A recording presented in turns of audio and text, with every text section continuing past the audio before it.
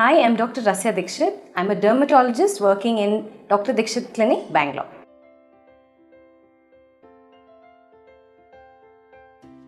A very commonly used skin lightening cream is hydroquinone. Hydroquinone has a lot of uh, side effects. Therefore, a newer molecule has been launched and this molecule is known as mequinol. This again is used like a triple combination. Mequinol is a newer molecule. Side effects have not yet been described. However, whenever we choose to use a, a hydroquinone like medicine, we always like to give it for shorter intervals of times, maybe 4 weeks, maybe 6 weeks maximum. We do not want to extend using these creams.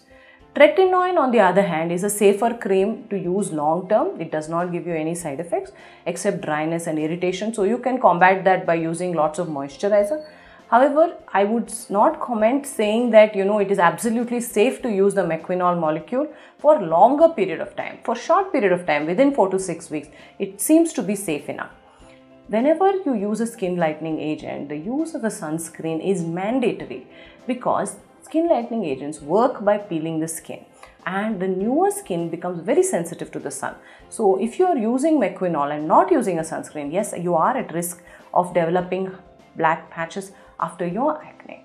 So always follow the full skin regimen, which is your good soap-free face wash, your good moisturizer, a sunscreen, and then at bedtime a moisturizer, and then your skin lightening cream. And always remember that these are prescription medicines. They have to be used under guidance of doctors and for the fixed time which the doctor gives it to you for.